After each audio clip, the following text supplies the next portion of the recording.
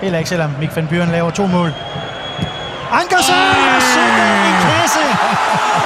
Hold da op.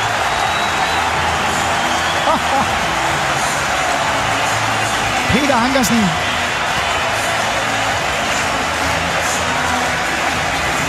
Ah, men det er da helt vildt. Altså lad os bare lige hurtigt lukke ned. Forsvarsspil, det er ikke eksisterende i den her periode, men når det er sagt, uanset hvordan du vender og drejer det, så er det jo en top, top detalje, han får lavet og får faret sin landsholdsudtagelse. Altså, prøv at se, vi kan jo ikke klage over, at der ikke er AGF'er nok.